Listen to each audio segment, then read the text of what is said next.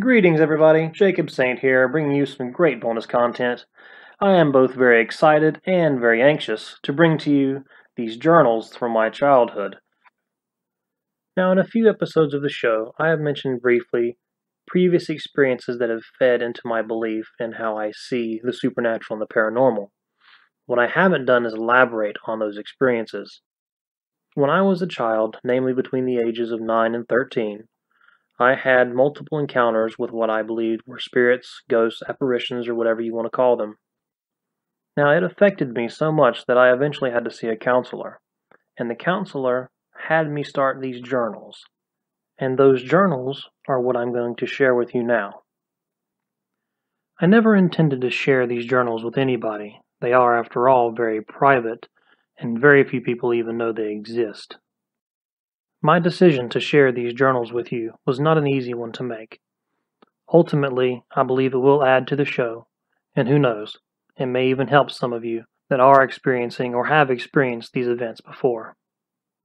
Now, bear in mind these are the journals of a child that are not very well detailed, not very well written.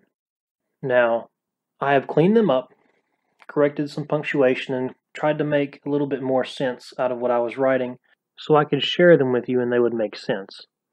Now, I have vivid memories of these events, some of which were very repetitive, meaning the same apparition appeared multiple times, while others were isolated events. The entry that I'm going to share with you today is a repetitive encounter. It is the first of the many encounters that I have with the one I have dubbed the Bad Man. I hope you enjoy.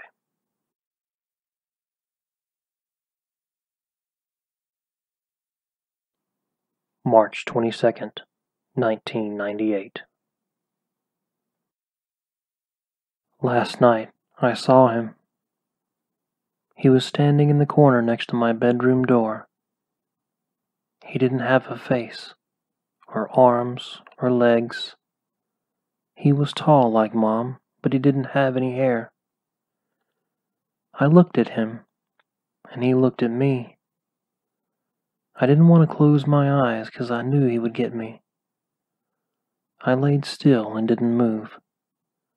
He didn't move either.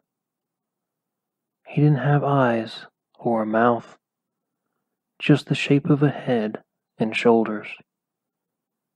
I didn't make any noise. It was quiet so quiet I could hear my mom walk down the hall to her room. I didn't scream for her because I didn't want him to get her. He never said anything, but I knew that he was bad. I laid there staring at him, and him at me. The next thing I remember is Mom waking me up for school in the morning. The man was gone. He's never there when it's light.